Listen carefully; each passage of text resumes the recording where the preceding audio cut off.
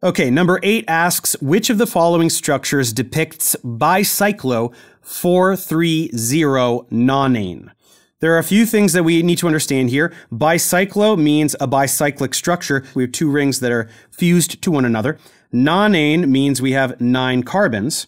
And then 430 is telling us how many carbons are in each ring separately from each other. So we have to have four carbons and then three carbons, four carbons on one of the rings. Those are the carbons that are not shared.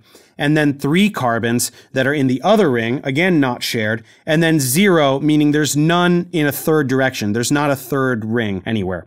So let's look at the options here. On the basis of number of carbons, we can already tell a few things. This is one, two, three, four, five, six, seven, eight, nine, ten carbons. That one doesn't work. That's too many carbons. That's not a nonane. Over here for C, we have one, two, three, four, five, six, seven, eight carbons. That would be an octane. So that also does not work. Options A and D have nine carbons. So now we have to look at the number of carbons that are in each ring that are not part of the other ring. So let's take first, we need four.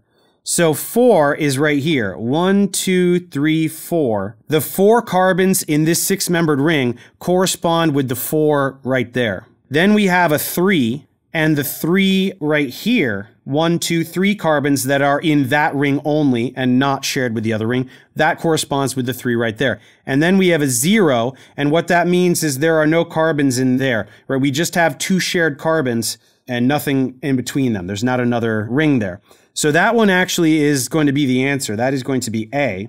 So that's different from this situation over here where we have three and three and 1. You notice here that there is an additional carbon in between there, forming yet another ring, another situation there. So that actually would be 3, 3, 1. That would involve different numbers in that bracket there because we have three carbons in one ring, three carbons in another ring, and then one in that other one between them.